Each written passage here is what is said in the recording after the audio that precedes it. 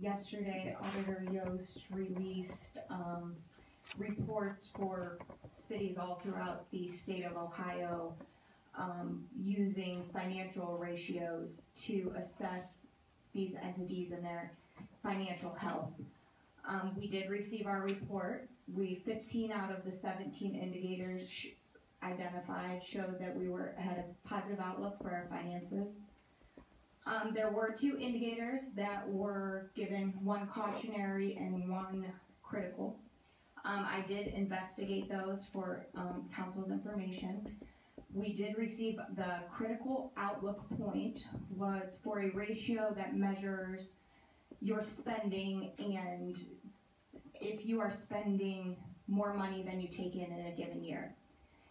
So, in two thousand and fourteen and fifteen, the city intentionally spent more, and that does occur on occasion. But based on their way they're analyzing the financial indicators, if you drop below that, they are going to flag that as critical. So just like with anything, you know, you have to know what's going on behind the numbers sometimes.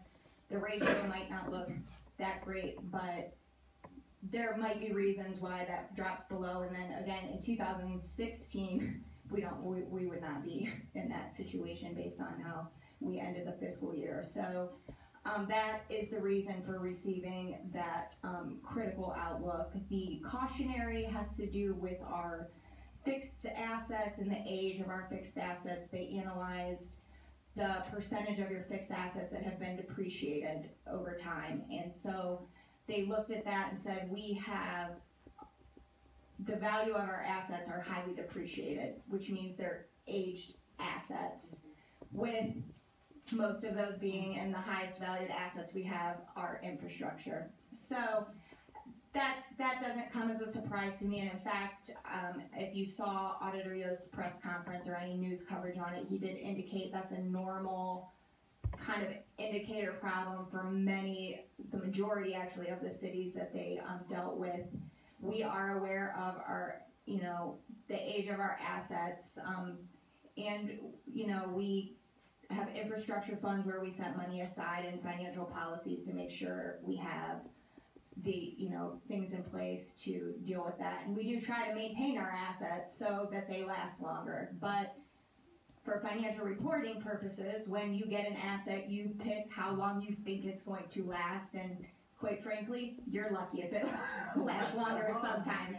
But we are aware of, you know, the age of our infrastructure and that those should be coming, but based on the financial health that we have here, I think we'll be in a good position to fix, you know, our infrastructure and the assets that we have. Well, I really um, appreciate and applaud um, Auditor Yost for his attempt.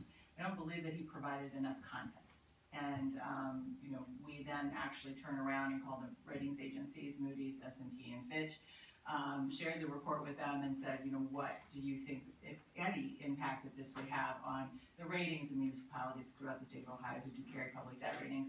Um, and they pretty much summarily dismissed it and said that it would have no impact. Um, but yeah, a lot of it's a lot of municipal entities did not score particularly well, and I think you have to take the picture as a whole. While you intentionally spend money, as you indicate, you know, exceeds your, your revenues in a given year, that here in Tallmadge has historically been a planned event. Unfortunately, in a lot of communities throughout the uh, state of Ohio, that is an unplanned event. Um, and so, again, I, I applaud um, you know, what we've done here in Tallmadge historically what you're doing you know, now um, under your administration. And I, I think, um, you know, kudos all around for getting 15 out of 17. Many of the larger municipalities did not do nearly as well.